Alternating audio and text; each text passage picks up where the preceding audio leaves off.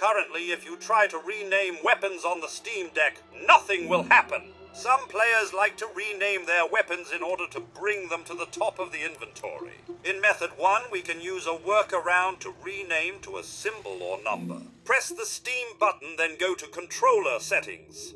Enable Back Grip Buttons. You can use other buttons if you'd like, but this should be the quickest. Press the button for L4 and then select a key on the keyboard that you would like to use.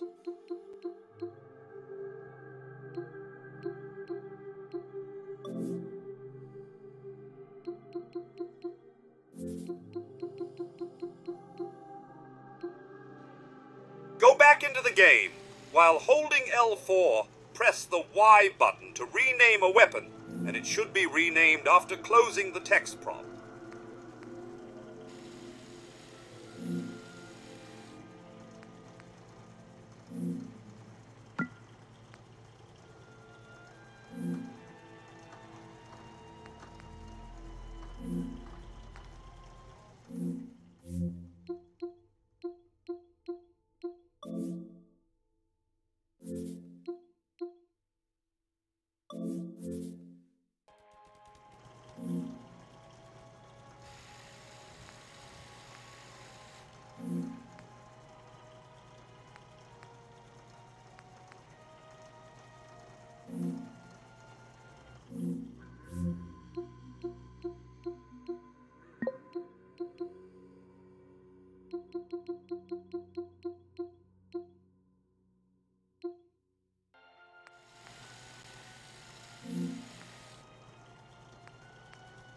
In method 2, you can use more complete names, although it is slightly tedious. With Fallout 4 exited, go to its properties in Steam and scroll down in the General tab to add the following launch option.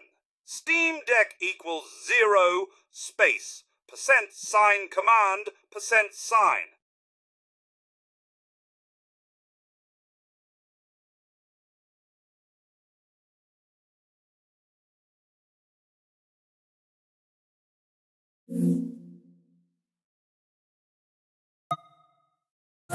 Start the game and use your finger to touch the screen and press play.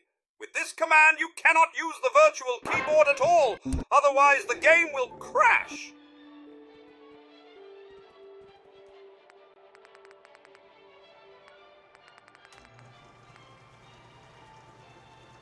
Press the Steam button and go to Controller Settings. Enable the back grip buttons. Then edit the L4 button. Select the first letter on the keyboard of the word you'll rename your weapon to. In this example, I want to rename it to Yeet Lord. After the first letter is chosen, press the settings button near the key and then add a sub command for the next letter. Then go back to the settings button near the first letter and do the same thing until your word or phrase is completed.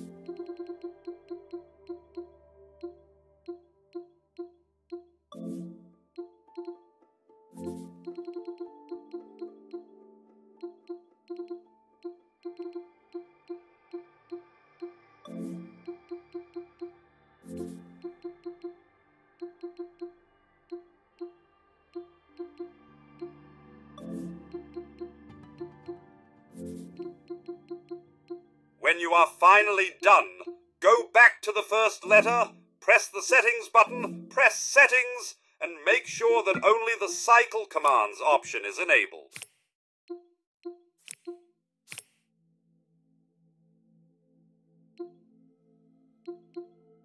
Next, you'll want to edit another button such as R4 and assign it to the Shift key in order to capitalize any letters you wish to. Now go back to the game and press Y to rename a button. Start pressing L4 and press it over and over again until the entire word is completed. Hold R4 at the same time for capitalizing letters.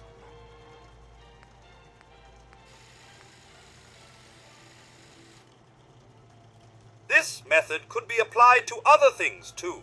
Don't forget to remove the launch option in the game's properties later, or you might have problems using the virtual keyboard for other things, such as console commands. Check my other video to see a fix for that too.